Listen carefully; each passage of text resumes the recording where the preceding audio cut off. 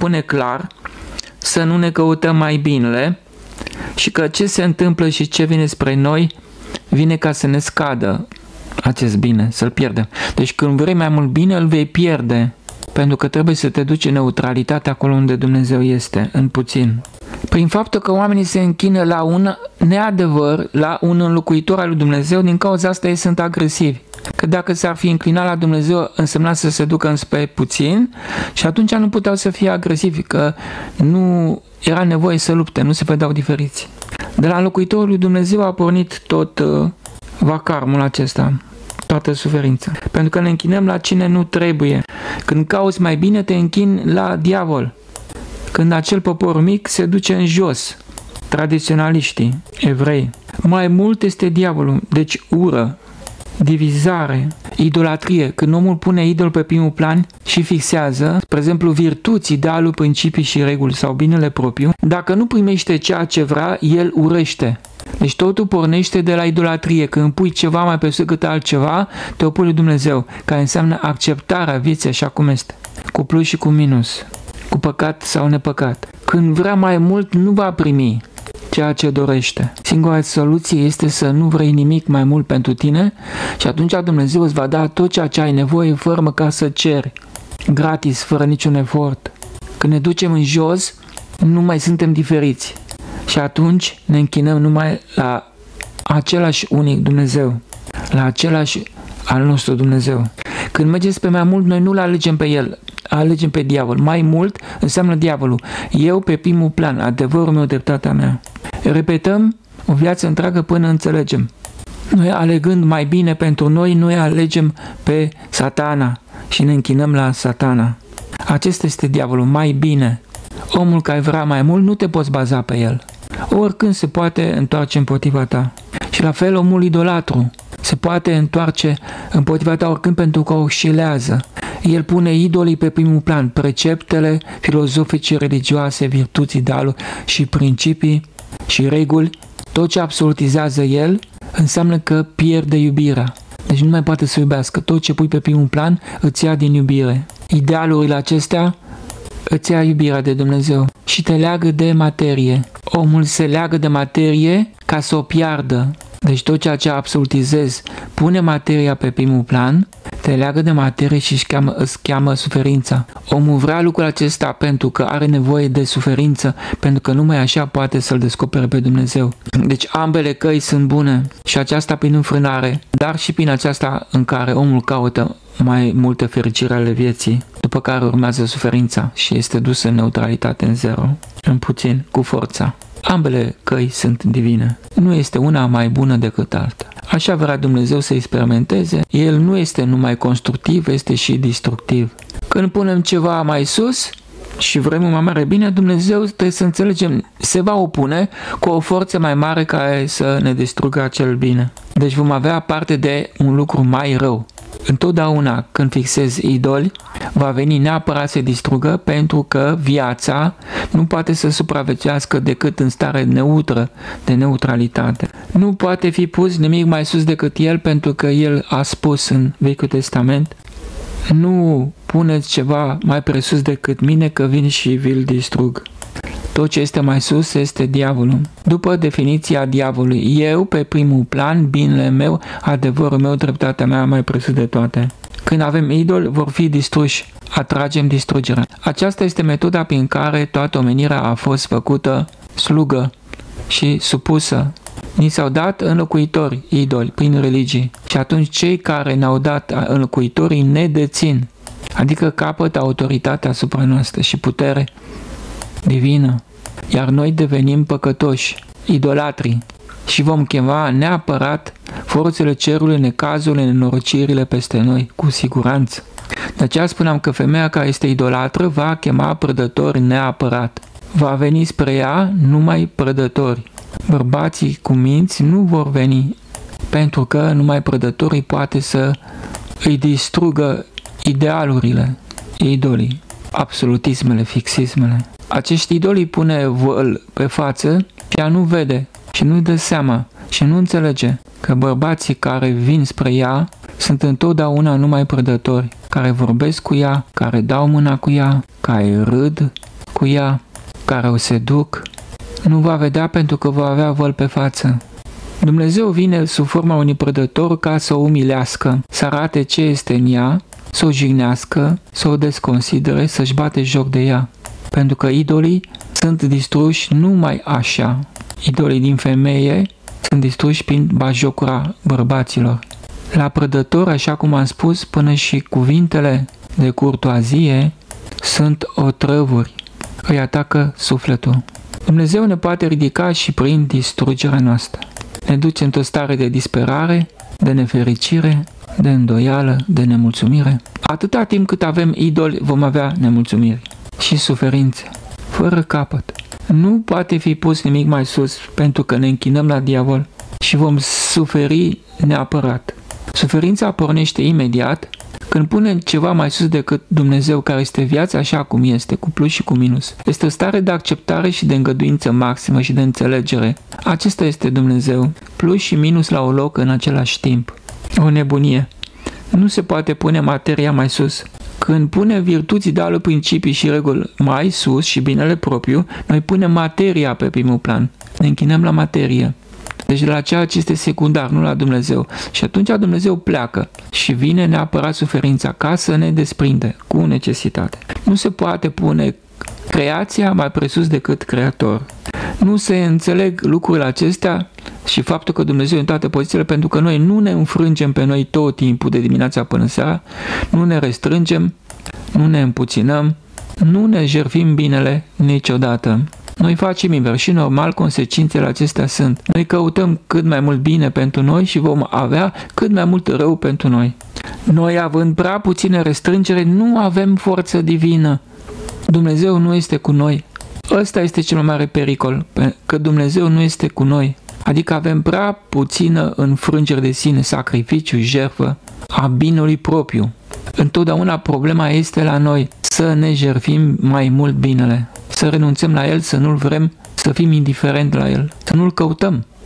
Numai El le face pe toate, dar El este și eu nostru, și neputința noastră, și imperfecțiunea noastră. Este perfecțiune și imperfecțiune în același timp. Noi uităm lucrurile acestea, că El ia toate roluri și toate măștile, uităm și luăm lucrurile personal.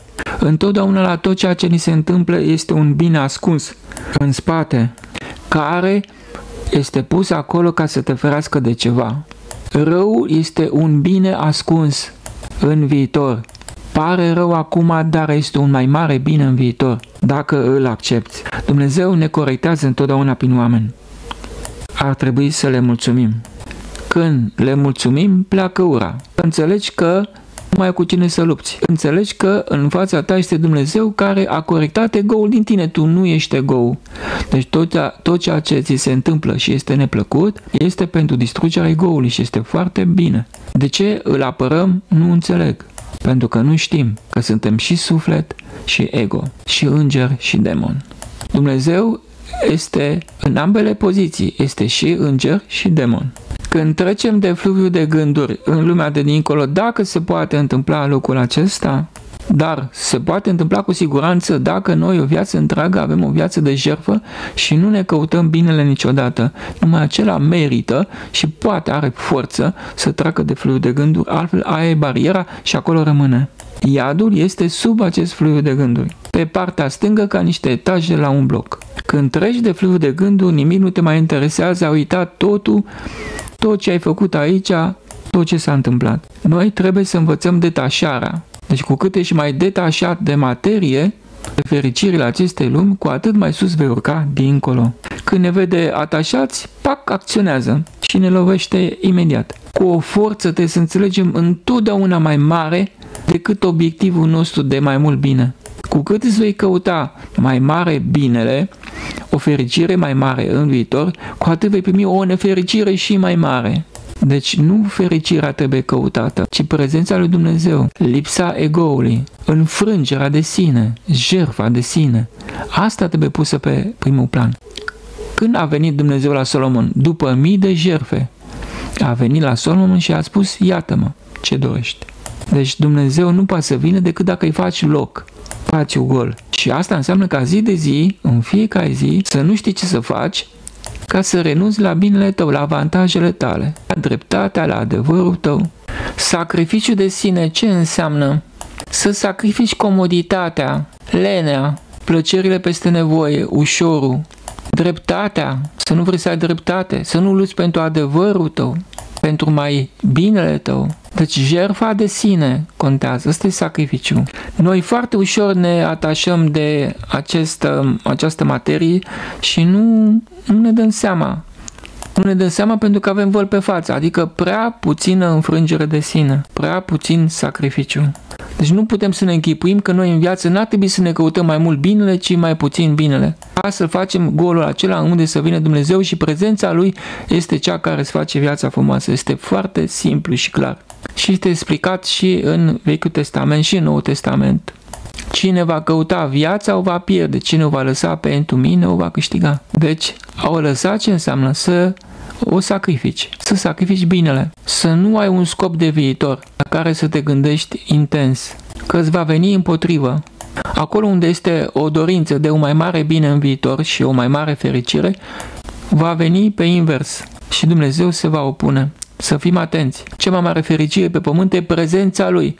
Și prezența Lui ne dă tot ceea ce avem nevoie, cu siguranță să avem încredere deci încrederea se câștigă în divin pe măsura golirii de sine, lepădării de sine. În spațiu gol vine divin și începe el să dorească pentru tine ce este mai bine pentru sine. Dar dacă ne ducem spre materie și vrem mai mult bine pentru diavol, că noi întotdeauna când vrem mai mult binele, la, vrem pentru diavol, nu vrem pentru suflet. Sufletul nu are nevoie de mai mult bine. Deci când vrem mai mult bine pentru diavol, Dumnezeu vine și distruge pe diavol și ne desprinde cu forța cum știe el mai bine și face lucrul ăsta din dragoste. Tot ce face el este perfect în fiecare clipă. Chiar dacă nu vedem sensul lucrurilor acum, tot ce vrea el întotdeauna se întâmplă. Întotdeauna se întâmplă numai ce vrea el. Iar coincidența de dorință se întâmplă, între noi și el se întâmplă, numai când noi nu mai dorim cu eu acolo unde este un eu care vrea ceva neapărat pentru sine, Dumnezeu ni se va împotrivi cu siguranță. Dacă nu mai vrei nimic și lași pe el să decidă, atunci intri în armonie cu Dumnezeu și el nu va ști ce să facă ca să-ți facă viața mai frumoasă și mai fericită. Deci nu fericirea să o căutăm pentru diavol, ci nefericirea pentru diavol să o căutăm întotdeauna, să nu-i fie bine, să-l stresăm continuu, să nu știm ce să face dimineața până seara încât să-l chinuim să ne opunem lui continuu. Aceasta este cea mai înaltă învățătură a Cogaionului, Cartea Misterului lui Zamolsa. Deci Dumnezeu întotdeauna tot ce face, face bine și perfect, chiar dacă noi nu vedem sensul lucrurilor acum, să înțelegem că tot ceea ce este rău acum pentru ego va fi și este un bine pentru suflet. Întotdeauna nefericirea egoului a diavolului este fericirea sufletului. Noi sunt, spunem că oamenii sunt răi. Trebuie să fie răi atunci când noi avem îndreptățire de sine. Orgoliu. Ei sunt răi cu nivelul de orgoliu al nostru. Cu cât orgoliu este mai mare, cu atât mai răi sunt ei. Cu cât femeia se atașează mai mult de idol sau bărbatul, cu atât vor veni prădători spre ea să fie sigură de asta. Și nu va vedea pentru că va avea văl pe față. Idolii sunt vălul Precepte, idealuri, principii, reguli puse pe primul plan sunt văl. Binele propriu, comoditățile, bunăstarea, belșugul, stabilitatea, siguranța, savoarea peste nevoie sunt văl. Noi când căutăm comodul, ne punem un văl pe față și nu vom vedea ce facem. Și vom vrea mai plăcut. Cădem odată, vom cădea mereu. Tot ce face Dumnezeu este bine, drept și divin în fiecare clipă. Nu ne putem îngrijora de nimic, suntem continuu în mâna Lui. De fapt, nu noi facem ceva, ci El face prin noi și prin ego nostru acționează tot El asupra celorlalți și prin ceilalți asupra noastră. El este în toate situațiile și pozițiile. Noi nu ar trebui să ne îngrijorăm de nimic, totul este bine în fiecare clipă. Dacă primim o neplăcere acum, este pentru că în viitor avem nevoie să nu vină un ecaz mai mare. Neplăcerea de acum ne salvează de o suferință mai mare în viitor. Fermitate în iubire, în înfrânare și în dăruire. Și asta a făcut real în viața de zi cu zi continuu, de dimineața până seara. Să practicăm restrângerea, înfrângerea binelui propriu continuu. Și atunci El va veni, va fi cu noi și ne va însoți, ne va inspira, ne va da înțelepciune, înțelegere și îngăduință și puterea de a-L vedea în toate. Noi punem pe diavol pe primul plan, asta e nebunia de pe lume. Punem comoditatea, bunăstarea, stabilitatea, siguranța, idolii conceptuali, care sunt bunuri simbolice. Toate acestea le punem pe primul plan și ne închinăm la cine? La diavol, la înlocuitorul lui Dumnezeu. Asta este singurul înțeles al Salvatorului. El înseamnă ceva mai sus. Și când pui ceva mai sus, vei primi pe dos întotdeauna. Și sil va distruge. Noi suntem prea comozi și vorbim mult și facem puțin. Trebuie să practicăm mai mult. Mii de jerfe de ego, de comoditate, de ușor, de mai plăcut, care aduc după aceea o nefericire mai mare, o întristare mai mare. Dacă nu-l vezi peste tot, atunci te liniștești și nu mai lupți, că nu mai e cu cine să lupți, dar îți trebuie voință proprie să te ambiționezi și să te ridici când vrei comoditate ușor și plăcut peste nevoie. Atunci trebuie să te ridici și să pleci și să renunți la fericirea respectivă. Când dimineața ți somn și ai mai sta, te ridici. Faci un duș mai rece, dar întrebarea este cum îți dai seama că totul vine de la el, pentru că noi luăm lucrurile personal. Mii de jerfe de sine ale binelui nostru, împotrivire la binele tău, ea ridică vălul și vei începe să-l vezi. Trebuie să înțelegem că noi întotdeauna vrem binele diavolului, nu sufletului. Sufletul nu are nevoie de mai bine. Sufletul acceptă ceea ce vine așa cum este, cu bine și cu rău. El nu vrea mai mult bine niciodată, nu vrea. Și ca să te unești cu sufletul trebuie practic, zi de zi, să nu vrei. Să nu vrei cafeaua, să nu vrei să stai jos, să nu vrei plăcinta, să nu vrei să mergi cu mașina la servici, să nu vrei o mâncare mai gustoasă, să mănânci puțin, să vrei puținul. Asta înseamnă să vrei pe Dumnezeu, să vrei puținul, modestia, simplitatea și smerenia. Să nu mergi în sus, să mergi în jos. Dumnezeu e în jos, nu este în sus. Dar rezultatul nu vine imediat, îți trebuie mii de jertfe de sine, cât de mare este orgoliu, îți trebuie și mai multe jerfe. Cu cât nu-ți mai cauți binele, cu atât mai repede vine Dumnezeu spre tine. Binele înseamnă esențializarea și a pune materia mai pe sus decât toate. Să nu ai așteptări, să nu ai scopuri, idealuri, de viitor că va veni și ți le va distruge. Doar înțelegerea să ai că tot ceea ce vine din față vine de la El. El coordonează totul. Noi înțelegem numai după mii de jerfe. Cu cât înfrânarea, reținerea, abținerea, sacrificiul de sine este mai mare, lepădarea de sine, cu atât mai mare va fi și înțelegerea noastră, și îngăduința noastră, și credința noastră în Dumnezeu, și iubirea noastră. Deci vei avea o iubire cu atât mai mare cu cât jertfa binelui tău va fi mai mare. Cu cât te duci mai jos, benevol și singur, cu atât te ridici mai sus la Dumnezeu și El va fi cu tine. Civilizația aceasta noastră, a acestui mai mult bine, este pentru a ne arunca în iad. Dar și stările noastre interioare, așa cum sunt ele, cu eu, cu ego-ul nostru, tristețe, mâhnire, îndoială, necredință, neînțelegere, sunt cale spre divin. În acest moment avem nevoie de ele. Tot ce primim este foarte oportun pentru fiecare clipă. Este perfect, nu poate fi comentat și nu poate fi respins. Totul este spre ajutorul nostru și purificarea sufletului. Toate necazurile ne dezinfectează, ne dezparadizitează. Și apoi trebuie să ne gândim, fără ego, cine am fi noi? Incomplet. Calea spre divin este și aceasta prin ego, prin mai mult bine pentru tine. Nu este nimic rău, doar că vei fi desprins și vor veni suferințe. Dacă noi alegem așa, înseamnă că așa trebuie, pentru că ăsta este nivelul nostru de acum și nu se pot sări etape. Nu poate fi nimic criticat. Tot ce sunt sau spun oamenii este corect pentru ei. În universul lor este adevărat. Nu poate fi contestat. Este Dumnezeu care joacă acel rol și nu putem să spunem că tu, Doamne, nu joci cum trebuie și nu e bine ce faci. E perfect ceea ce face El pentru programele autodistructive din spate pe care le are omul acela. Nu poate fi schimbat nimic, nici o iotă nu poate fi schimbată din viața lui. Totul e bine așa cum e rânduit de el de sus. Mai este o întrebare, de ce nu ne convine să fim cu el? Cu toate că știm că toate le dă numai el. De ce nu vrem? Când de fapt știm sau observăm sau vedem că în momentul în care el nu este cu noi, pleacă bucuria vieții și vine suferința. De ce vrem durere? Pentru că punem în continuare pământul pe primul plan, materia. De ce luăm lucrurile personal? Nu ne putem lăsa total în mâna lui. De ce nu vedem pe el în tot ceea ce ni se întâmplă? Pentru că mai avem atașamente. Nu le putem da drumul, adică avem prea puțin ego înfrânt, prea mult bine și prea puțină lăsare de sine prea puțină jertfă a binului propriu. Adică ne-am opus prea puțin diavolului din noi. Nu l-am înfrânt. Bătălia se dă cu diavolul din noi, care este dorința de mai bine. Acesta este diavolul. Mai sus, mai mare, mai tare, mai puternic, mai frumos, mai grozav, mai îmbelșugat, mai stabil, mai sigur, mai comod.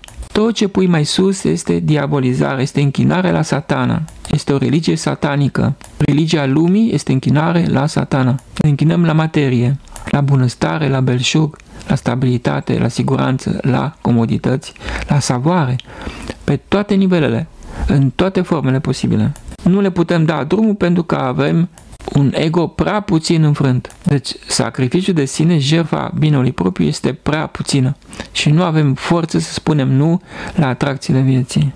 Pentru că jertfa binului propriu înseamnă o pierdere. Ego-ul pierde, pierdem ego.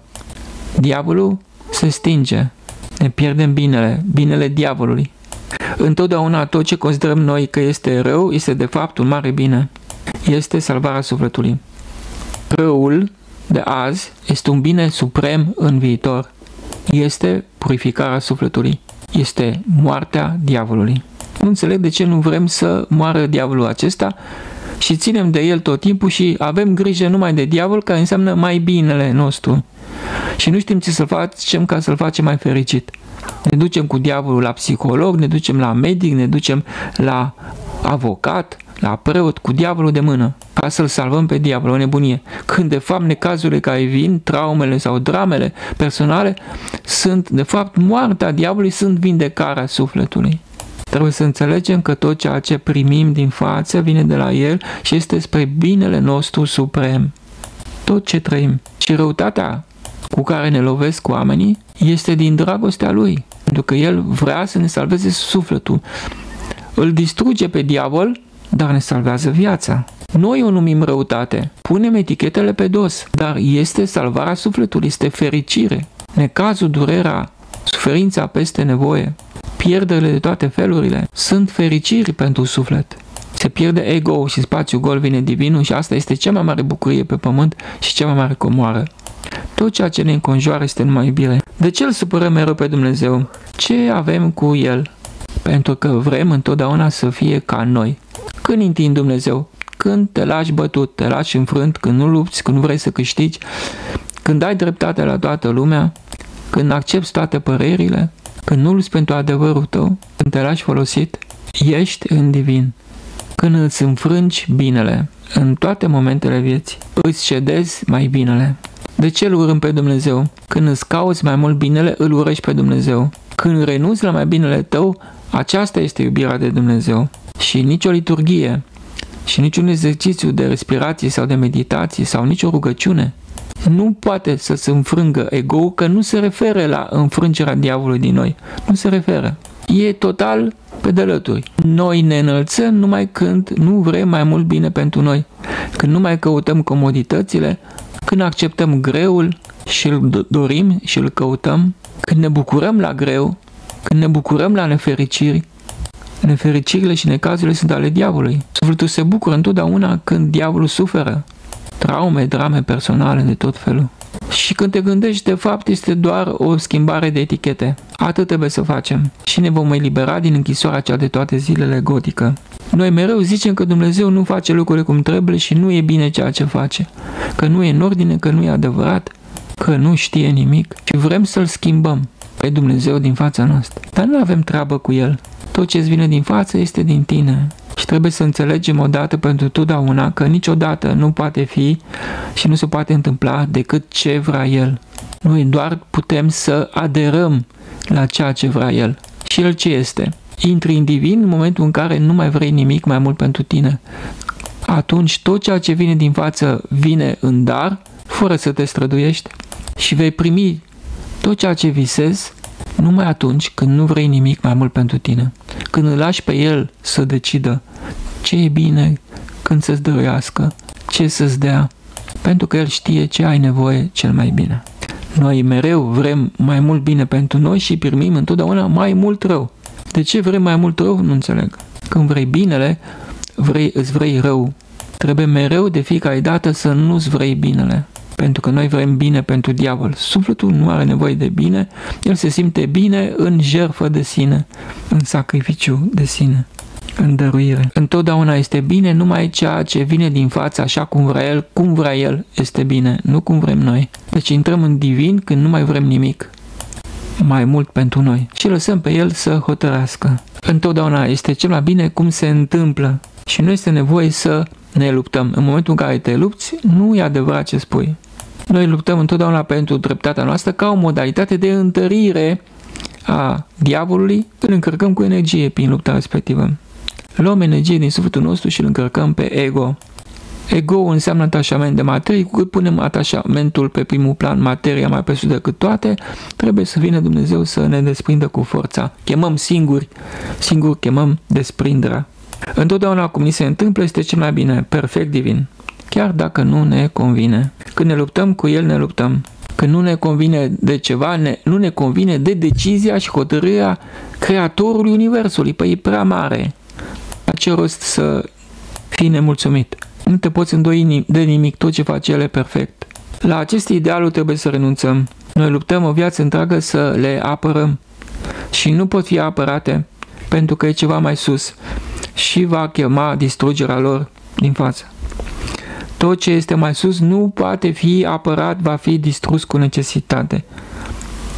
Că de aceea ne-au dat un locuitor, ca să atragem mânia lui Dumnezeu ce spunem că este rău este de fapt un mai mare bine. Și Dumnezeu așa a vorbit în Vechiul Testament. Nu puneți ceva mai sus, că nu se poate. Că voi veni să vi-l distrug pentru că nu se poate pune creația mai sus decât creator. Sufletul este mai sus decât materia. Așa s-au îmbogățit cei din clubul de lux 1%. Ne-au dat înlocuitori la care noi ne închinăm și le-am predat puterea divină. Și în clipa respectivă ne-au pus văl singuri. Ne-am băgat cu capul în joc, singuri. Și nu mai putem înțelege că avem văl. Adică materia este mai presus decât Dumnezeu. Casa, mașina, banii, avantajele, stabilitatea, siguranța, belșugul, bunăstarea, comoditățile sunt mai presus decât Dumnezeu. Adică puterea noastră de a ne înfrânge, de a renunța la ele este mai mică. Ce înseamnă să-L pui pe Dumnezeu pe mai presus decât toate? Când nu le mai apreciezi pe acestea când nu mai faci totul pentru ele, când nu le mai cauți, când nu le mai vrei, atunci îl pui pe Dumnezeu pe primul plan. Dar trebuie să dai semn zi de zi, de dimineața până seara, în fiecare din situațiile vieții, că materia nu este totul pentru tine. Să nu le vrei. Să nu vrei mai mare bine pentru tine, înseamnă să-L vrei pe Dumnezeu. Când nu vrei mai comod, mai ușor, mai plăcut, mai stabil, mai sigur, mai savuros, atunci îl vrei pe Dumnezeu prin nuri, prin respingerea fericirilor peste măsura ale vieții și a atracțiilor acestei lumi, a umanului și a lumescului. Cine caută vinovați în afară? Ego. Ego întotdeauna aruncă vina în afară și îl învinovățește pe Dumnezeu degeaba și se supără numai pe el. Îl acuză că face lucrurile prost. Este de fapt modalitatea, acuzația este de fapt modalitatea prin care noi ne întărim ego și îl hrănim pe diavol. Întotdeauna îl hrănim pe diavol și îl întărim când criticăm, acuzăm, învinuim, condamnăm, judecăm, ironizăm, ridiculizăm, ironizăm și ne credem superiori și credem că avem dreptate și că adevărul e de partea noastră. Când crezi că ai dreptate, nu ai dreptate. Când luți pentru adevărul și binele tău, în idoli, nu ai dreptate. Când te închini la precepte, idealuri, principii și reguli, nu ai dreptate. Înseamnă că nu ai nevoie de ele. Noi nu de ele avem nevoie, de ceva mai sus, avem nevoie de dragoste, de iubire. Noi nu am fost învățați să iubim. Când a pus ceva mai sus, a pus regulile mai, mai sus și iubirea mai jos. A anulat iubirea lui Dumnezeu. Când pui ceva mai sus, l-ai dat afară pe Dumnezeu, din inima ta. Asta am făcut. Și în locul lui ce am pus? Mașina, casa, banii, poziția socială, fericirile acestei lumi peste nevoie, comoditățile, siguranța, stabilitatea vieții. Ego întotdeauna îl acuză pe Dumnezeu când nu face lucrurile cum trebuie. Noi întotdeauna când ne supărăm, ne supărăm numai pe Dumnezeu. Și când există supărare, noi nu avem dreptate niciodată. Trebuie să înțelegem lucrul ăsta clar. Avem dreptate. Deci înlocuitorul lui Dumnezeu generează suferința continuă pentru că înseamnă ceva mai sus și Dumnezeu a spus nu pune ceva mai sus, că nu există așa ceva, eu conduc această lume, este lumea mea. Eu păturn totul. Nu poți să spui că ceva e mai bun decât altceva. Tot ce fac eu este bun în fiecare clip. Când pui un locuitor mai sus decât Dumnezeu, este ca un blestem. Închinarea la el este autoblestem. Este simbolul lui ceva mai sus al satanei. Oamenii nu știu că se închină la un ideal și așa devin idolatri și se închină la diavol. Nu știu asta. Ne-au programat la suferință. Ne căutăm mai mult și primim mai multă suferință. Înlocuitorul este un ideal, care este ceva mai sus, este diavolul. Și ne închinăm la cine nu trebuie. Ceva mai sus înseamnă mai mulți bani, o casă mai frumoasă, Asta înseamnă salvatorul, cel care te salvează, care îți dă un bine mai mare. Și nu se poate așa ceva, că nu El îți dă binele, Dumnezeu îți dă binele sau răul. Toate vin de la El. Salvatorul nu este nimic, e ca o popușă vudu. Înlocuitor înseamnă mai comod, mai ușor, mai plăcut, mai stabil, mai sigur, mai bogat, mai mare. Întotdeauna în toate, El vrea ce ni se întâmplă deja ca să ne corecteze. Deci în tot ceea ce ni se întâmplă este voința Lui. El vrea ca lucrurile să fie așa și ne duce spre El. Este ca un păstor care mână oile. Când îl vei vedea peste tot, vei putea să îngenunchezi ușor și nu o să mai vină neplăceri la tine. Asta este miza. Egoul nu se poate lăsa pe sine. Nu poate să îngenuncheze în fața lui Dumnezeu. Numai El este în toate. Dacă înțelegem asta, vom fi fericiți și fără griji. Trebuie să spui întrebarea mereu, poți să îngenunchezi în fața lui Dumnezeu? Adică te poți lăsa pe tine înfrânt? Ajută-mă, Doamne, să te văd peste tot. Este singura rugăciune valabilă și este foarte frumoasă. Rezolvă totul. Atunci când afirmam lucrul ăsta, cu noi va fi Dumnezeu. Și înseamnă că va fi bine. Iar dacă este cu noi, totul va fi frumos în viața noastră. Să înțelegem că din totdeauna a fost cu noi, noi nu am fost cu El și că nu a plecat niciodată. Și orice am trăit a fost spre binele nostru divin. Nimic nu este de regretat, totul este cu folos, oricum a fost. Nivelul de jertfă de sine, de înfrângere, este nivelul de desprindere și de iubire divină. Necazurile sunt avertismente care ne arată că am adunat prea mult bine și că urmează suferința și desprinderea neapărat. Liniștea noastră interioară mulțumește lui Dumnezeu. Întotdeauna să gândim numai frumos despre Dumnezeu. El nu ne vrea rău, vrea răul într-adevăr al diavolului ca să ne libereze sufletul. Nu știe ce să facă ca să-i facă mai mult rău diavolului. Și sufletul nostru, și îngerul păzitor, și Dumnezeu. Până și ego nu știe ce să facă ca să-și facă mai mult rău sieși. Când ceva neplăcut îți dă astăzi, îți dă ca să nu ajungi în viitor la o neplăcere mai mare pe care nu o să poți să o duci. De același fel. Deci neplăcerea care vine astăzi blochează o neplăcere din viitor de același fel. Această învățătură realizează o schimbare totală a modului de a privi lumea și nu pare umană, cu siguranță că este divină, pentru că nu mai vede nimic rău niciunde și te duce într-o stare de îngăduință și înțelegere maximă, în care este numai iubire și acceptarea toate câte vin din față așa cum vin, pentru că înțelegi că totul vine de la Dumnezeu și tot ce face El este perfect în fiecare clipă. Nimic nu este de schimbat sau de modificat la El.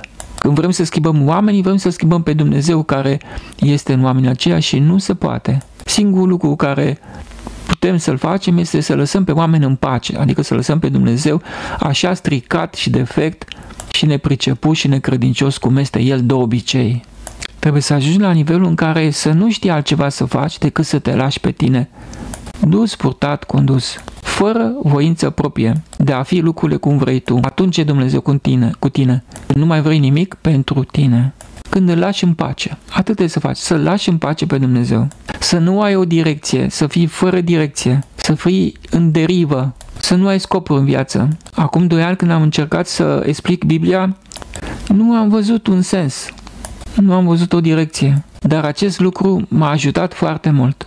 mi-a dat posibilitatea să văd, mi-a ridicat vălul de pe față și am văzut că există totuși un fir roșu care trece prin toată Biblia și în Vechiul și Noul Testament ca un fel de Biblie secretă, care este total diferită de toate restul de afirmații din Biblie, care este pe dos.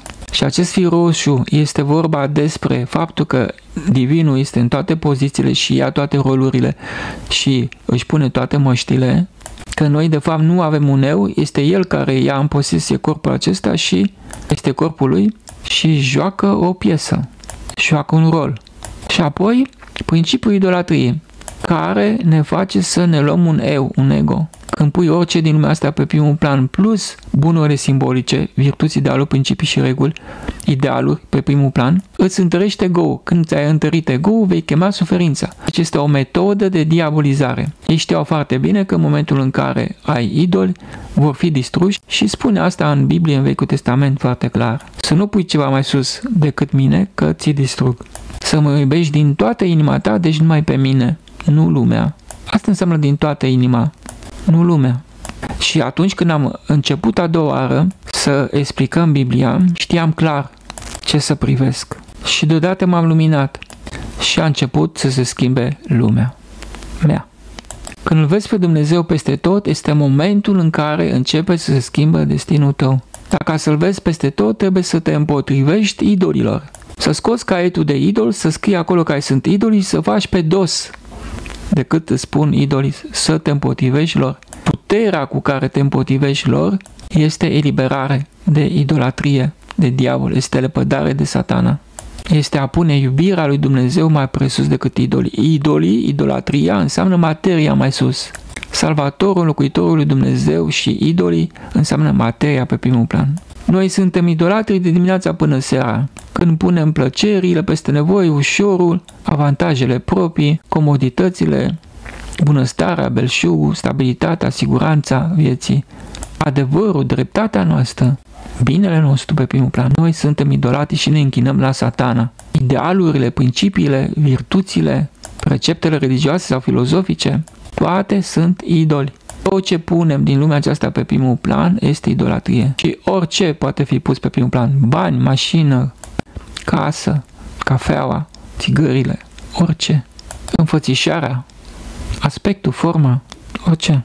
Această înțelege că Dumnezeu este în toate a schimbat direcția lumii. Acei înțelepți care au scris Vechiul Testament, că am fost și acolo și am uitat să menționez în prima carte în Shangri-La lucrul acesta, au ajuns la această înțelegere, dar au zis că nu pot să o dea pentru că și-ar da puterea divină oamenilor. De aceea trebuie să înțelegem că scripturile au fost scrise împotriva oamenilor. Adevărul sunt în ele, dar sunt ascunse. Trebuie să le știi dinainte ca să le poți vedea, că altfel nu le poți vedea. Această învățătură schimbă direcția lumii. Până acum, omenirea a fost polarizată pe o parte. Toate învățăturile și toate scripturile sunt polarizate pe o parte. Așa da, așa nu. Totul este pe o parte. Totul se luptă cu totul. Fiecare zice ba eu, ba eu, ba eu. Nimeni nu zice și tu ai dreptate, de la și tu ai dreptate. De aici pornește lupta, de la polarizare, pe o parte, de la absolutizarea unii bine, adevărului și dreptății mele. Dumnezeu, noi nu știm că este și plus și minus în fiecare clipă. El este și neisprăvit, este și păcătos și nepăcătos, și neînțelegător și înțelegător și credincios și necredincios. El este în ambele poziții și nu putem să ne închinăm la Dumnezeu decât dacă unim contrariile opusele. Spunem că și asta e valabil, dar și asta e valabil. Starea de neutralitate, de acceptare a tuturor părerilor, de a da dreptate la toată lumea, de a te lăsa dus, condus, purtat, de a sluji pe toți la fel, este starea de neutralitate, de acceptare și este prezența lui Dumnezeu. Să știm asta clar. Dumnezeu este și suflet și ego, este și înger și demon. Numai atunci este cu noi, în noi, și îl conștientizăm și îl vedem și îl simțim când am unit opusele. Când suntem polarizați pe o parte, vom genera inversul neapărat, pentru că el trebuie să vină să ne echilibreze și este atent la ce spunem și ce gândim. Atenție ce gândești, ce spui, că vei crea realitate. Noi avem puteri colosale de mari, creăm realitate de adevăratele și lucrul ăsta ne este ascuns. Ego-ul în parte, sufletul nu în parte. Dumnezeu se echilibrează, ego-suflet, ego-suflet. Nu este nevoie de nicio intervenție. Balansează tot timpul. Prin înfrângerea de sine a egoului, el se cunoaște pe sine ca fiind puterea absolută. Cu cât înfrângerea de sine este mai mare, cu atât fericirea și iubirea noastră va fi mai mare. Dar și detașarea noastră de cele materiale și lumești. Și vom ajunge într-o stare în care nu vom vrea nu vom vrea mai bine, mai sus, mai mare, mai puternic, mai comod, mai stabil, mai sigur. Nu vom vrea mai ușor. Dumnezeu le face pe toate bune, El este în echilibru continuu. Când te duci pe balansoar prea mult în dreapta, El se duce mai mult în stânga ca să te echilibrezi. Când îți cauți mai mare bine, vei primi un mai mare rău. Întotdeauna. Să te ferești. Să te ferești de idoli. Să nu pui ceva mai sus că va veni neapărat și ți va distruge. Să fii într-o stare de nepăsare la un rezultat fericit în viitor. Că e bine, că e rău, bucuroși îl duce pe toate de pace de război. El este și cel care cunoaște, este și cel care nu cunoaște. El este perfect și în același timp imperfect. Imperfecțiunea creează continuu perfecțiune. Când înțelegem că este în ambele poziții, nu mai putem lupta cu nimeni, că nu mai avem cu cine să luptăm, trebuie să ai un vârf ridicat, ceva mai sus ca să vină Dumnezeu să ți-l tocească, să te echilibreze. Ne trebuie un singur lucru, o continuă înfrângere, că această înfrângere, această împuținare continuă, jertfă a binului propriu, jertfa a egoului. Noi jertfim pe diavol întotdeauna. Jertfa diavolului este de fapt înălțare. Face spațiu gol și în spațiu gol vine divinul și atunci el începe să dorească pentru tine ce este mai bine pentru sine și asta este situația ideală. El este ca o mână nevăzută care trece prin pieptul tău și se duce spre situații de viață și le schimbă într-un mod la care nici nu sperai. Mișcarea este diferența de potențial dintre două puncte. Dumnezeu de aceea trebuie să fie și plus și minus ca să existe viață. Altfel nu există viață. Și încă ceva, minus și plus sunt concomitente. El se balansează într-o parte sau alta pentru că vrea el, pentru că așa trebuie, pentru că asta înseamnă viață, acest balans continuu. Cum este la pendul? Noi greșim când spunem că este adevărat numai așa. Lucrurile, de fapt, sunt și invers. Sunt și așa și invers ar trebui în fiecare clipă să nu ne permitem să vorbim polarizați pe o parte. Și atunci viața noastră se schimbă radical, pentru că în echilibru, în neutralitate este Dumnezeu. Dacă ești în neutralitate, în starea de zero, se oprește timpul, îți scade mintea. Este o stare de indiferență, de a fi, de a avea, de a câștiga, nici nu mai știi cine ești. Când trăiește ca ego, Dumnezeu vrea să-și înfrângă ego Când trăiește la, ca suflet, are nevoie de ego. Deci nimic nu este rău. Noi suntem doar pe o parte. De ce vrea Dumnezeu să-și frângă ego Pentru că aspiră spre suflet. Să se cunoască pe sine, ca fiind sufletul. Când ajunge să trăiască ca suflet, are nevoie de ego. Trebuie un echilibru întotdeauna, în toate. El nu este numai suflet, este și ego, în același timp. Este constructiv, dar în același timp este distrugător. El este chiar acest balans, lumină și întuneric, înger și demon plus și minus, bine și rău, sus, jos. De ce vrea să facă ceea ce nu-i place? De ce alege greul? Unde vrea să ajungă? Când trăiește ca ego, vrea să aleagă greul. Când trăiește ca suflet, iubește egoul. El se echilibrează pe sine continuu. Construiește și distruge. Se balansează dintr-o parte în alta. Mereu. Este plus și minus, este și și. Când se duce pe o parte, aleargă în cealaltă doar echilibrează. Eu este fără cunoaștere de Dumnezeu, nici nu știe că există, crede că El este autorul acțiunilor sale și cu cât crește mai mult îndreptățirea de sine, cu atât Dumnezeu trebuie să distrugă această îndreptățire de sine ca să-l ducă în echilibru. Iar când omul stă prea mult într-o stare de desprindere totală, nu poate să-l țină nici în starea aceasta prea mult timp și va trebui să-l aducă înapoi pe pământ, în ego, și îl va face să uită totul. Deci nu există un final, există doar balansul acesta între plus și minus continuu. Cum este ticăitul unui ceai, ceas. Și că când înțelegem că el este în ambele poziții în același timp, nu mai putem spune nimic despre nimic. Jocul acesta între lumină și umbră este jocul lui. Este ființa lui. Ființa lui nu este numai perfectă, este și imperfectă. Nu este numai lumină, ci este și întuneric. În lumea de dincolo exista soarele de iubire, dar în spatele nostru era un hău de întuneric. De ce era acolo? Soare de iubire, lumină puternică, divină, și întunericul respectiv. Deci el era în ambele forme de existență. El este și și. Apele toate se varsă în ocean. Orice acțiune se stinge în zero, totul se duce în el. Apa stinge focul, pământul este foc, aerul, opusul aerului este vidul, lipsa aerului. Lipsa este plinul, pacea este război. Depinde ce pui pe primul plan. Orice pui pe primul plan va fi întotdeauna nevoie de invers și vei crea inversul cu necesitate. Când lupți pentru pace, vei chema războiul. Dumnezeu este un pendul, un balansoar. Când unim opusele, ne unim cu el. Nu poți căuta extremele. Se vor anihila una pe alta continuu. Liniștea aduce lupta, echilibru este de căutat. Înțelegerea, îngăduința, acceptarea opuselor așa cum sunt. Când trăiește ca ego, Dumnezeu are nevoie de înfrânare. Are nevoie să-și cunoască natura lui adevărată sufletul. Când trăiește ca suflet și ia rolul de suflet, Dumnezeu are nevoie de eu, de ego, de materie, care să aspire spre el. Deci o parte are nevoie de cealaltă parte. Se îngemânează. Când trăim într-o lume plină de activitate pentru eu, a restrânge eu duce la echilibru. Adunarea de mai bine trăiește eul. Restrângerea duce la scăderea egoului și la unirea cu sufletul.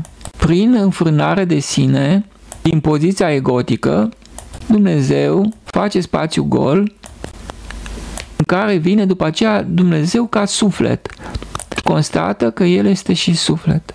El cunoaște și nu cunoaște. Înțelege totul și cuprinde totul și nu înțelege și nu cuprinde totul în același timp. Este egal în ambele părți. Nimic nu poate fi pus mai presus. Nu poți să spui că perfecțiunea este mai importantă decât imperfecțiunea. Pentru că în momentul în care pui perfecțiunea pe primul plan, va fi distrusă prin imperfecțiune.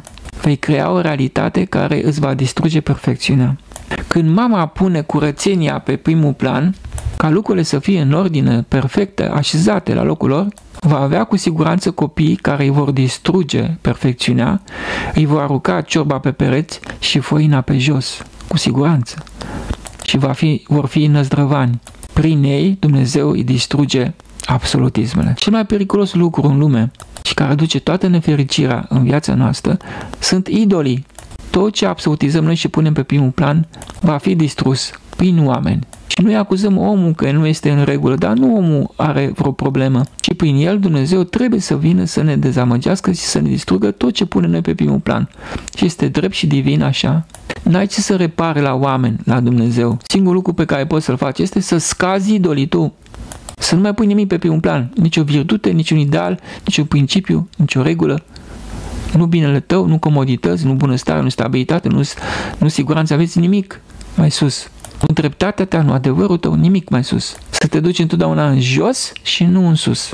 Într-o lume în care toată lumea se duce în sus, a te duce în jos este salvarea. Dar dacă te duci prea mult în jos, poți să ajungi să desconsideră pe cei care sunt în sus. Și atunci devenit idolatru, absolutizând împuținarea, restrângerea. Totul în momentul în care devii intolerant critic și acuzator față de partea cealaltă. Atunci este momentul în care ai nevoie de invers. În clipa în care pui reguli, principii, virtuți și idealul pe primul plan și ajungi să nu accesi pe cel care le încalcă, ești idolatru. Și va trebui să vină nefericirea peste tine să-ți distrugă fiecare din idolii aceștia punctual. Îi ia la rând. Și nu se lasă până nu ni face praf pe toți. A avea idol nu e fericire. A nu avea idol e cea mai mare fericire. A nu respecta virtuți, idealul, principii și reguli este cea mai mare fericire în momentul în care le pui pe primul plan. Pentru că atunci când le fixezi și le absolutizezi, vei urâ pe cel care nu le respectă. În clipa respectivă ai devenit diavol. Foarte simplu și foarte ușor. Deci în momentul în care ei au dat virtuți, idealul, principii și reguli și le-au fixat, în clipa respectivă noi am devenit idolatri, diavol. Nu mai putem să ne iubim între noi și ne vedem separați. Cel care e credincios, cel care este necredincios e urât, cel care este perfect e bun, cel imperfect nu e bun, deci ne-au împărțit și nu mai putem să iubim. Ne-au împărțit în păcătoși și nepăcătoși. Și cu cât omul ține mai mult de virtuțile respective, cu mai mult va urâ oamenii. Exact cum spunea Mitropolitul Atanasie de Limasol din Cipru, Ce ai făcut în cei 50 de ani în care ai mers duminică de duminică la biserică și nu ai învățat să iubești oamenii? Ce ai făcut?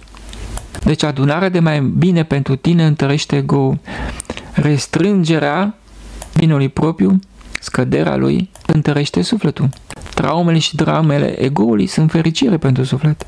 Toată cunoașterea lumii vorbește numai în extreme și este polarizată pe o parte. Prin înfrânare, Dumnezeu, eu, ego, se descoperă pe sine ca Dumnezeu divin, ca suflet, ca Dumnezeu primordial. Egoul și sufletul sunt două aspecte diferite și opuse ale lui. Sunt două forme de existență ale divinului. Egoul este și el Dumnezeu. Egoul duce și te îndreaptă spre suflet. Fără acțiunea lui, noi nu conștientizăm că suntem sufletul. Deci fără ego nu există suflet. Fără una nu este alta. Dumnezeu este de fapt un cuplu, un moment. Este și ego și suflet în același timp, în același moment. Nu putem spune că egoul este rău, că e parte din divin, ci egoul este drumul spre divin. Păcatul nu este rău, e cale spre divin. Fără să greșim, noi nu putem să cunoaștem adevărul.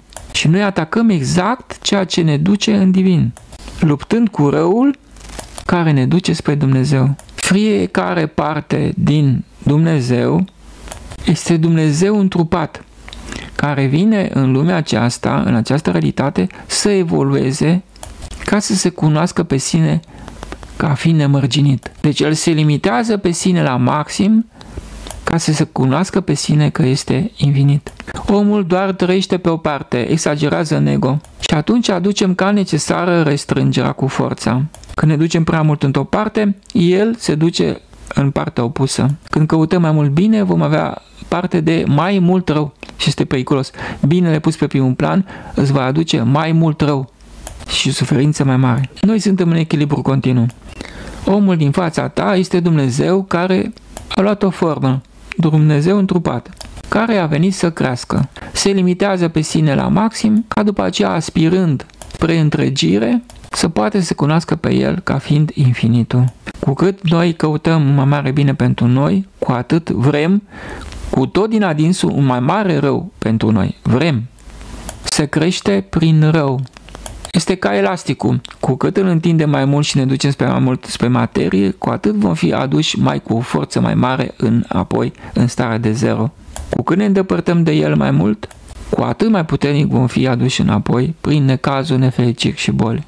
Sau pierde. Noi descrim echilibru lumii, care este dialectic, trece situațiile de viață trec une în altele continuu. Nu este nimic fix. Dacă acum ți se pare că lucrurile sunt bune, și stabile, înseamnă că în curând își vor pierde siguranța și stabilitatea și vor deveni instabile. Când ne ducem într-o parte, el se duce imediat pe invers ca să ne echilibreze. De fapt, cel care se duce cu totul spre materie va veni spre el mai repede desprinderea și mai puternic. Dar noi suntem orbi și nu înțelegem în termeni aceștia și luăm lucrurile personal, punctual. Și asta ne oprește pe noi. Avem o gândire unilaterală. Vedem numai ceea ce ne interesează pe noi și derivăm logic numai liniar. Ca să ieșim din această liniaritate, care este ca un blestem, ca o pedeapsă, noi trebuie să luăm de fiecare dată opusul la fiecare din afirmațiile noastre de toată ziua. Să zicem că este și așa, și așa, și invers. Acesta e Dumnezeu. L-ai prins imediat când afirm plus și minus, l-ai prins. Ești în el, ești una cu el. Prin acea afirmație că este și plus și minus, te-ai unit cu el. Așa de simplu. Omul fixează idol și îi pune mai sus. Și Dumnezeu vine repede și îi distruge. Nu este nimic rău și nici atașamentul de materie. Este cale spre divin, prin suferință. Înseamnă că așa avem nevoie. Atâta putem înțelege noi în clipa de față. Când spunem nu fericirilor peste nevoie, atunci noi evoluăm. Drumul spre rai trece prin iad. Când spunem că nu mai e așa, este, este pe dos mereu trebuie să fim atenți să luăm și invers. Ambele situații, ambele poziții sunt egale. Când căutăm numai binele, înseamnă că dăm semn că avem nevoie de mai mult rău, de mai puțin bine. Avem nevoie de restrângere. Restrângerea scade ego și face loc unde să vină Dumnezeu. Dacă să nu avem aceste fluctuații continuu, trebuie să stăm tot timpul în reținere, în restrângere, în împuținare, în modestie, simplitate și smerenie, jos de tot unde se strâng apele. Și nu vom greși niciodată. Atunci Dumnezeu va fi cu noi tot timpul și El ne va face viața frumoasă. El știe ce să ne dea, ce avem nevoie și nu știe ce să facă ca să ne fie mai bine. Puținul ne salvează, puținul ne ridică la Dumnezeu. Dacă ne ducem exagerat în puțin și absolutizăm puținul și devenim radical și criticăm pe ceilalți, care vor mai mult, atunci am căzut cu puținul în brațe, pentru că Dumnezeu s-a dus în poziția inversă pentru tine, în universul tău. Mereu să luăm inversul, atât. Ăsta este singurul joc pe care trebuie să-l jucăm, să fim atenți mereu la ceea ce spunem și ce gândim, să nu fie unilateral, numai pe o parte, punctual, să spunem că și opusul este egal în fiecare clipă și atunci nu mai pornește în noi suferința. Suferința înseamnă inadecvare, lipsă de armonie. Suferința pornește numai la gândirea unilaterală. Când absolutizăm părți, atunci pornește suferința. Când nouă ne-au dat idealul, principii și reguli pe primul plan, ne-au dat o suferință mai mare. Când trăim în ego, în bunăstare, stabilitate și siguranță, puținul ne salvează și ne întărește sufletul. Când trăim într-o restrângere prea mare, a nu fi așa exagerați este o nevoie. Când avem de toate, tot ce ne trebuie, a ne împuțina e necesar. Când trăiește ca ego pe pământ, Dumnezeu vrea să-și piardă ego-ul, să-l înfrângă, ca să se cunoască pe sine ca ființă absolută, divină, perfectă. Pentru că nu-și cunoaște limitele, margine. El s-a întrupat astfel încât fiecare parte, oricât de mică, să aspire către el și astfel să se cunoască pe sine. El se echilibrează. Cele două părți lucrează în tandem deodată și sunt el. El ia infinite roluri și forme. La fel se întâmplă și în noi. Când ne ducem prea mult spre fericirile acestei lumi, vin automat necazurile. Când pune ceva pe primul plan, va fi distrus. Nu există decât acest balans. Ca un ceas care ticăie continuu.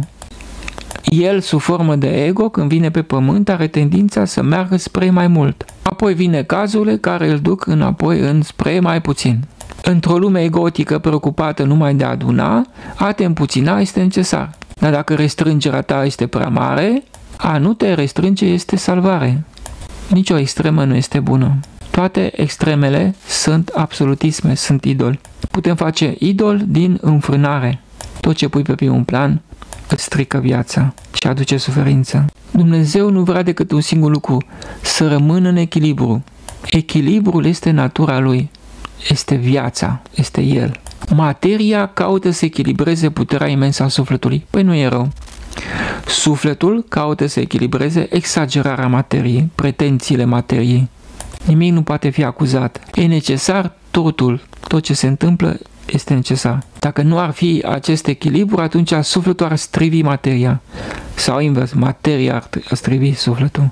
De aceea Dumnezeu nu ne lasă niciodată să punem idoli mai sus și să fim exagerați. El nu face decât să pondereze lucrurile. Echilibru pus pe primul plan este iubirea de Dumnezeu. Unirea opuselor este prezența Lui.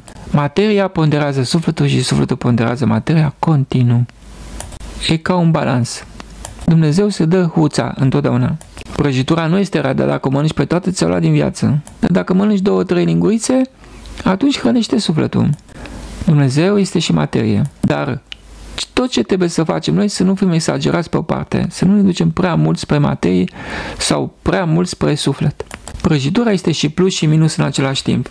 Ea este ziditoare pentru suflet când nu o mănânci până la capăt și devine rea pentru suflet dacă o mănânci pe toate pentru că îți ia din viața, din viața sufletului. Prăjitura te poate ridica dacă nu mănânci toate sau te poate coborâ dacă o mănânci până la capăt. Corpul este partea de margine a sufletului și nu poate fi anulat. Nu poate fi desconsiderat. Trebuie să iei seama de el. Oamenii care merg spre, prea mult spre materie sunt aduși de necazuri înapoi. Oamenii care merg prea mult spre spirit, adică spre minte, spre jocurile minții, înnebunesc repede și prin nebunia aceea sunt aduși înapoi, în liniște și pace. Tot ce ni se întâmplă este bun și drept în fiecare clipă. Dumnezeu este și bine și rău în același timp. Ascultam un interviu de politică și strategie și mi-am dat seama ce fac ăștia. Toți merg doar într-o parte, adică au o gândire lineară pe o parte, doar o părere. Niciodată în afirmațiile făcute nu spunea că este și așa și așa. Și invers. Și când sunt polarizați pe o parte, generează inversul. Și va fi pe dos decât ei au gândit. Singura soluție este mai bine taci și nu afirmi nimic liniar, particular pe o parte, polarizat, poziționat, că vei crea inversul. Întotdeauna vei crea inversul. Adică să stai într-o stare de neutralitate în care nu vrei nimic.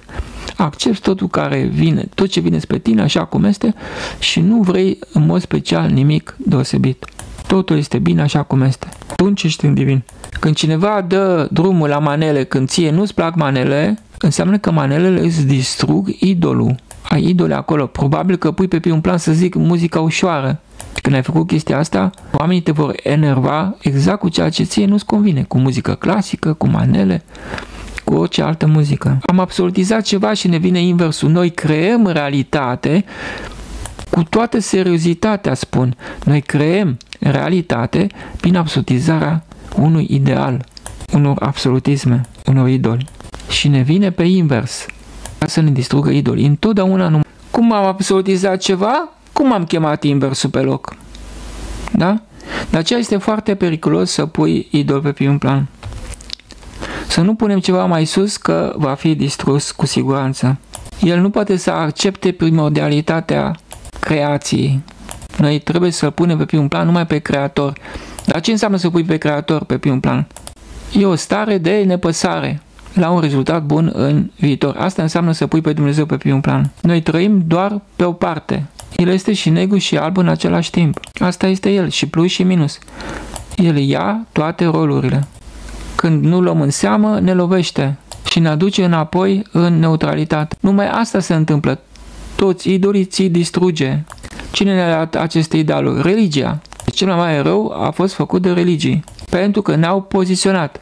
Religia mea, religia ta, salvatorul meu, salvatorul tău, credința mea, credința lui, sau au zis că Dumnezeu este numai bun și ne-au nenorocit, dar știau ceea ce fac și nu ne-a zis că El este chiar în noi și a venit și pe ceea ce gândeam noi, pe modul nostru de a vedea viața. Ei nu au zis că este și imperfect, au zis că e numai perfect și ne-au aruncat în iad. Noi negăm tot timpul, de dimineața până seara, faptul că El este peste tot și în toate. Fără El nu există viață. El mișcă totul. Noi venim în viață după care ne scoate din viață și ne retragem tot în El. Plecăm din El și venim tot în El. El este principiul fundamental ordonator al lumii. El pe el însuși se corectează continuu. E perfect și imperfect, e păcătos și nepăcătos, e credincios și necredincios. Nu se poate accepta lucrul acesta. În momentul în care ești polarizat, polarizația îți va fi distrusă cu siguranță. Trebuie să înțelegem lucrul ăsta. Nu putem fi supărați pe cei care vor mai mult, pentru că vrând mai mult, ei sunt duși în puțin și îi judecăm degeaba. Este Dumnezeu care joacă acest rol și îi trebuie. Pentru personalitatea respectivă este soluția ideală. Deci, Situațiile în care oamenii sunt, sunt situații ideale ale lui Dumnezeu. Nu pot fi contraziste sau criticate. Nu putem contesta decizia lui. Când nu ne convine de ceva, noi contestăm hotărârea divină, voința divină și nu se poate. Noi greșim întotdeauna. Noi întotdeauna îl atacăm numai pe Dumnezeu și suntem nemulțumiți numai de El. El distruge programe în oamenii aceia și știe el ce face, ducându-i spre mai multă materie. Trăind lăcomia de viață, el o trăiește. Nu pot, nu pot să-l critică de ce este lacom. Întotdeauna ceea ce criticăm la oameni, criticăm la Dumnezeu, că El este Cel care joacă rolul respectiv. Deci noi îl acuzăm numai pe Dumnezeu, suntem nemulțumiți numai de El și îl urâm numai pe El. Când căutăm numai bine, Dumnezeu ne va da numai rău și ne distruge idealul. Și face lucrul ăsta perfect, perfect nu ne permite să spunem că ceva este numai așa, numai bun. Nu se poate. Întotdeauna vine și ne echilibrează. Totul este El. Și existența și neexistența. Este viața Lui, lumea Lui. Nu avem unde să fugim din lumea Lui. Suntem cum sunt uh, personajele dintr-un vis. Personajele din visul nostru, ele cred că sunt adevărate. Dar noi suntem cei care le visează și sunt surprinse când odată zicem, gata, mă trezesc, M-am săturat și le ștergem dintr-o dată. Noi suntem personaje în visul lui Dumnezeu. Dacă cineva argumentează numai o parte, va crea neapărat inversul. Se vede așa de clar acum. Când zice că numai așa sunt lucrurile, e invers. Instantaneu este invers și va fi pe dos. Noi creăm realitate. Nu ni se spune asta. Dar real creăm, avem putere de creație divină. Suntem El și e normal să fie așa. Când ținem prea mult cu o parte, vom crea imediat inversul. Dar este perfect tot ce se întâmplă. Nu este nimic rău. Este manifestarea lui peste tot și așa trebuie să fie lucrurile. Adică, un bine absolutizat va genera întotdeauna rău. Fără binele acela pus pe primul plan, noi nu am putea atrage răul. Inversul. Adică nu-L atragem pe Dumnezeu să ne destrugă idolul.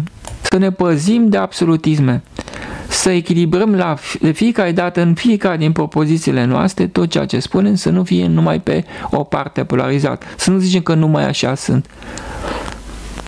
Deci firul logic al nostru este de obicei pe o parte. Dacă zicem că și inversul este adevărat, nu mai există fir logic.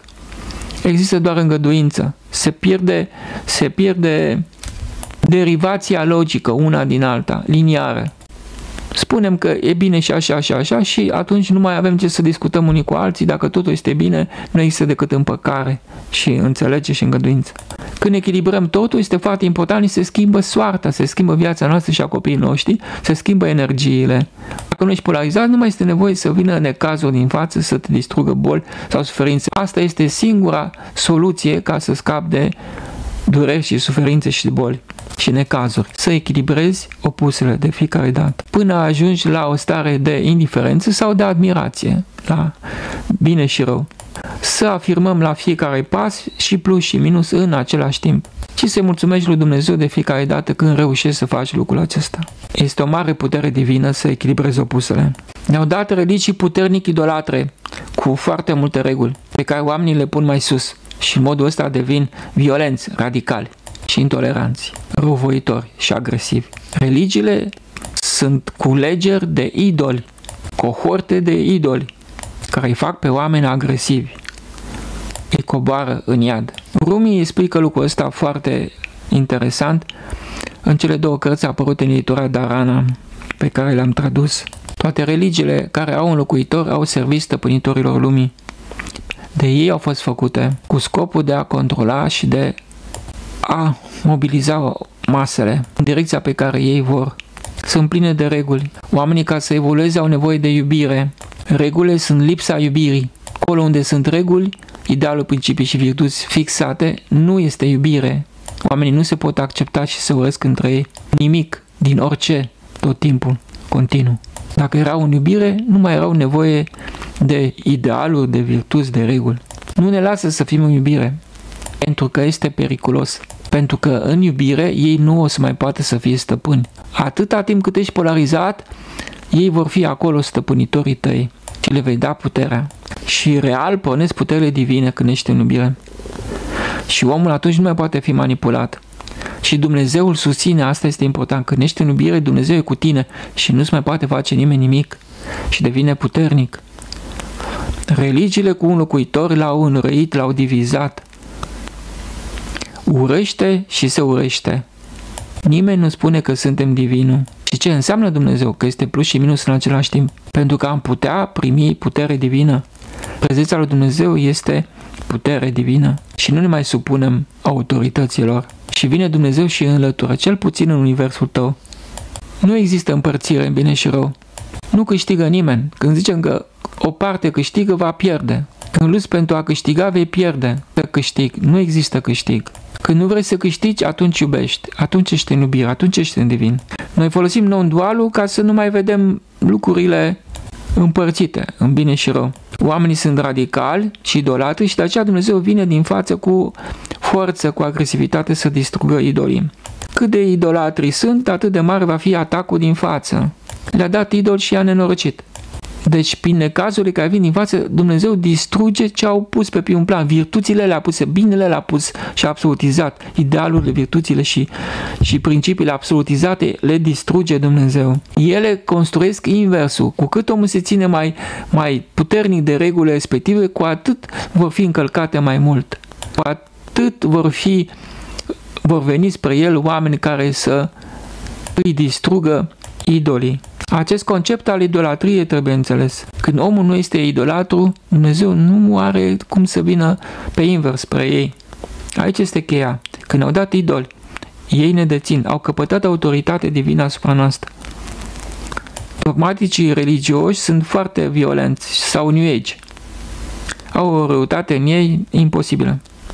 Dar dacă ești în liniște, nu te mai poate lovi nimeni. Într-o stare de abandon de sine continuu și puternic, religiile cu salvatori, cu un locuitor al lui Dumnezeu, i-au înrăit și au ajuns să se urască între ei și să se omoare între ei, fără niciun fel de jenă, pentru că nu simt, nu simt că sunt divini, nu știu că sunt divini. Dacă mama cu fica se urește, e vorba despre lupta dintre două triburi în lume, între ramura lui Sau și ramura lui Iacob. De la religie a pornit totul. Când exagerezi pe o parte, ai nevoie de invers, să faci inversul, ca să echilibrezi.